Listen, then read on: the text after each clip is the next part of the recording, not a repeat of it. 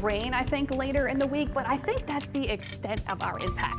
It could be a lot worse. If it was two months ago, it would be a whole different forecast. The fact that it's November is actually a good thing. I would not panic about this.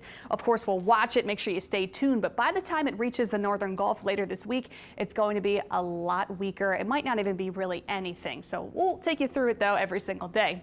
It is now a tropical depression. It is getting its act together. It's in the Caribbean. That's where it's a little bit more favorable for development, but the Gulf, not so much. More hostile in the Gulf. Good news for us. So hurricane conditions are expected for parts of Cuba getting into Wednesday. So it will be strengthening to a tropical storm today. It will stay a tropical storm through tomorrow, past nearby Jamaica as Tropical Storm Rafael, and then up to Cat 1 on Wednesday. Again, this is when it passes by western Cuba, and then it gets into the southern Gulf on Thursday, and then it will still be a Category 1, but this is when some stronger upper level winds, some drier air, and cooler ocean temperatures will have to grapple with TD 18, and this will, well, which will be Rafael at that point.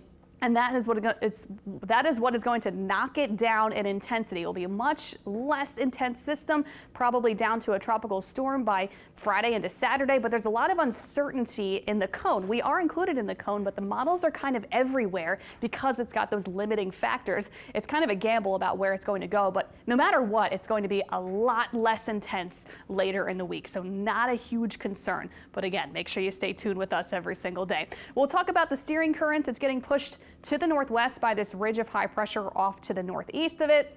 And then as we get into later in the week, this upper low starts to cut across the country. We'll see stronger upper level winds because of that. Plus we've got some drier air working into it, not to mention the ocean temperatures in the Gulf in the 70s. So all these things that help keep it on the low level concern, I would say. This is not a huge concern for us, but we'll be tracking it with you every single day. Also, I wanted to show you the wind shear picking up from the southwest later this week. That will really help to tear this thing apart, to tear up Rafael later this week. But I do think we're going to see some, you know, more rain as a result of this across the Gulf Coast, some breezy weather, some rough seas later in the week.